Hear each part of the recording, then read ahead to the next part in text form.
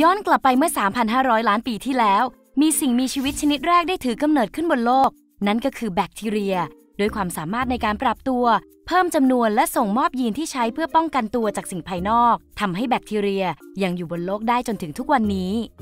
แบคทีเรียมีอยู่ทั่วทุกมุมโลก เช่น บนดิน ในน้ำ บ้านเรือน และสิ่งของเครื่องใช้ต่างๆ รวมถึงในร่างกายของมนุษย์และสัตว์ ล้วนแล้วแต่มีแบคทีเรียเป็นส่วนประกอบ เชื่อหรือไม่คะว่า ร่างกายของมนุษย์ ประกอบด้วยแบคทีเรียมากถึง 38 ล้านล้านเซลล์ ขณะที่เซลล์ของร่างกายเรามีแค่ 30 ล้านล้านเซลล์ นั่นแปลว่า ร่างกายของเรา มีแบคทีเรียอาศัยอยู่เป็นจำนวนมากกว่าเซลล์ของตัวเราซะอีก ที่สำคัญคือแบคทีเรียในร่างกายของเรามีหลายชนิด ชนิดที่เป็นประโยชน์ เช่น แบคทีเรียที่ช่วยย่อยอาหาร แบคทีเรียที่ช่วยปกป้องผิวหนังจากเชื้อราเป็นต้น ชนิดที่ก่อให้เกิดโทษ เช่น แบคทีเรียที่ผลิตสารพิษทำให้ผนังลำไส้อักเสบเป็นต้น แต่เนื่องจากร่างกายของเรา มีระบบควบคุมทำให้แบคทีเรียทั้งสองชนิดนี้ อาศัยอยู่ด้วยกันอย่างสมดุลจึงไม่ทำให้เราเจ็บป่วยค่ะ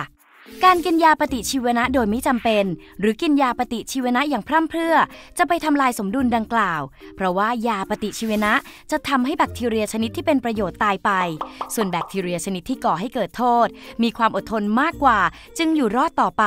และแบ่งตัวมากขึ้น เพราะไม่มีแบคทีเรียชนิดที่เป็นประโยชน์มาแย่งอาหาร จึงทำให้เราเจ็บป่วยค่ะ เช่นลำไส้อักเสบติดเชื้อเป็นต้น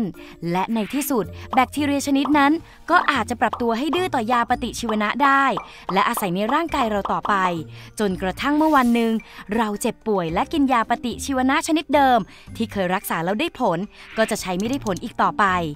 ถึงเวลาแล้วนะคะ ที่เราต้องคิดถึงสมดุลของเชื้อแบคทีเรียในร่างกาย โดยไม่กินยาปฏิชีวนะพร่ำเพรื่อ หรือกินแบบเผื่อไว้ก่อน เพราะท้ายที่สุดผู้ที่อยู่รอดคงไม่ใช่มนุษย์ แต่เป็นเชื้อแบคทีเรียที่ยังคงอยู่ต่อไปค่ะ